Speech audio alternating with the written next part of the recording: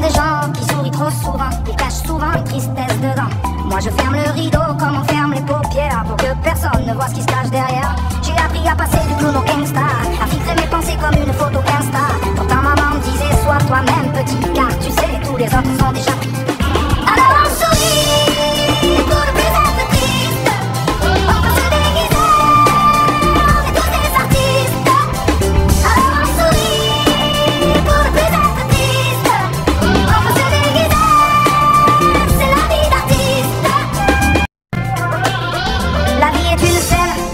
on apprend à danser sous la pluie, à maquiller nos vies.